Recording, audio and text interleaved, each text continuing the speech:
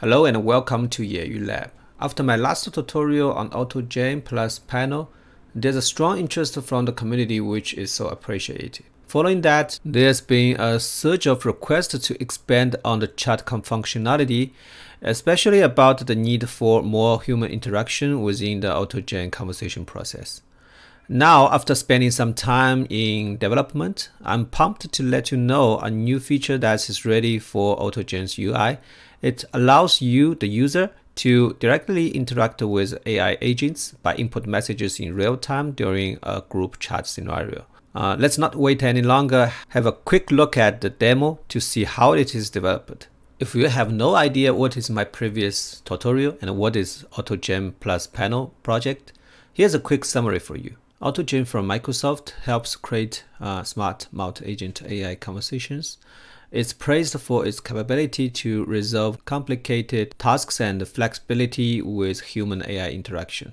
I tackled its complex command line interface by using Panel's chat component, make it user-friendly. In my last tutorial, I demonstrated a clear chatbot style UI for AutoGen, simplify its multi-agent charts and make outputs like code snippets and tables more readable. In my last demo of a search chat group, there were six agents in the chat group, including two user proxy agents, admin, who is for approval for planning, executor, who is for running the Python code, and four LLM powered agents, engineer, planner, scientist, and critic. Once you provide a query like a request for a package of recent LLM paper on arXiv, the agents will start to generate a step-by-step -step context based on the sequence appointed by AutoAgent's core manager. With the latest advancements in GPT-4 and AutoGen's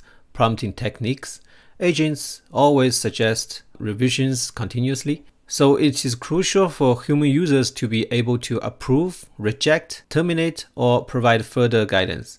This human touch can significantly enhance uh, precision, user satisfaction in achieving design outcomes, and reduce cost for application provider. We have a limitation from last video. The admin agent or user proxy couldn't accept human input. It was set to never. This setting is meaning that no human interaction with the admin's responses being limited to preset LLM generation or automated replies. If we set the human input mode as always in our last demo, the UI input will keep blocked uh, even when the conversation requires it. The only way to continue the conversation is to input your message in the terminal console, which is not good.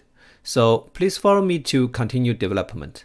In this code demonstration, we will continue our previous project, AutoGen plus panel with a group chat research pattern to integrate human input functionality. Just a heads up, when I say continue, don't worry if you haven't seen the last video. This tutorial will cover all the essential source code and explain everything clearly. The key enabler for this UI function is to replace the process of original AutoGen calls from synchronous to asynchronous. Otherwise, the UI input can be blocked until the entire conversation is finished. Fortunately, the recent update from AutoGen has expanded the asynchronous uh, methods. Until the time I made this video, most of the new methods we need have not been released to PyPI yet, so we should download it from its GitHub branch directly. Now let's quickly repeat what we did for setting up these autonomous agents. First, we should input the packages and config GPT-4, and then create the original five agents without any changes. Expect the admin for later steps. The five agents are engineer who can generate Python code, the scientist who can um, do analysis on the data, and the planner who is going to uh, generate an overall plan, an executor who will execute the Python code in its internal environment, and the critic who can double check the plans and all the results. Now let's create admin agent, which allows human interaction. But before the agent creation, we should provide a custom agent class, my conversable agent for the admin, which inherits the original class conversable agent. The reason why we need to replace the original user proxy agent class is that we have to rewrite the async function.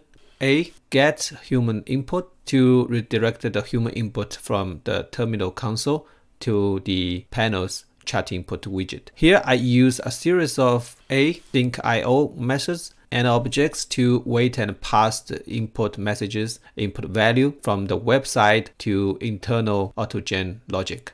The use of the core chat interface dot send is to send a prompt messages to the user to notify them for input. Since we have a valid custom agent class, let's define the new admin agent by using it.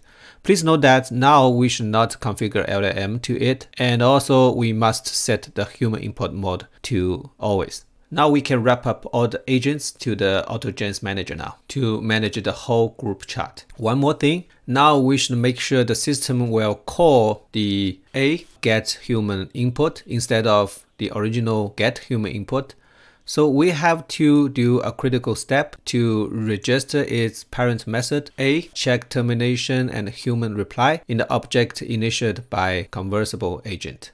Please be very careful with this change as we are changing the AutoGen source code. Let's find the source code in the package, open the source code file conversable agent.py. If you don't know where is your AutoGens package in your machine, you can use pip show PyAutoGen to know from its print. In the conversable agent.py, find the line which should be inside the initial function.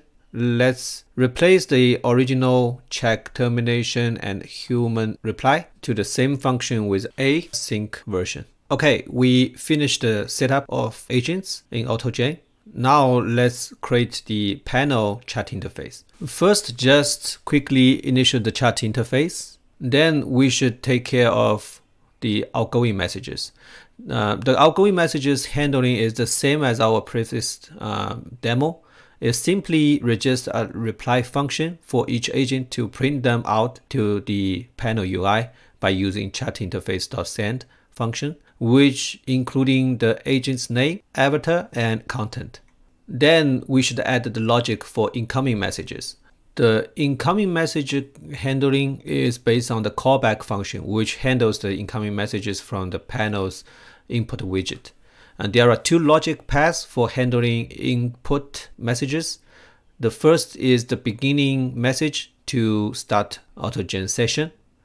The second one is the follow-up uh, messages during the interim conversations. First, we should uh, define the callback function to be async function also to release the runtime for uh, panel widget. The first input message will create a new thread, delayed initiate uh, chat to handle the entire AutoGen conversation uh, asynchronously. From the second message, it will use the asyncio object input future to pass the content to admin's a get human input function, which we just rewrote in our last step. Okay, now we should implement the delayed initiate chat thread. In this thread function, the entire conversation will be activated by agent.a initiate chat from the user's first message input. Good, everything's set. Let's get the wheels in motion. Let's consolidate the above code and run the server by the panel command. Panel serve. Now you can find the panel server is successfully running on your local host with default port 5006. Uh, visit this URL on your browser. Try to prompt any uh, research topic to the group chat. Now you will find there's a system message that asks me to provide feedback to chat manager. Let's try to send some approve. And all these conversations continues. Also, you can type exit to terminate the entire conversation. That's all for today. For the tutorial and the source code, you can find the link in the description below. Don't forget to like, subscribe and hit the notification bell. Keep innovating and I'll catch you in the next one.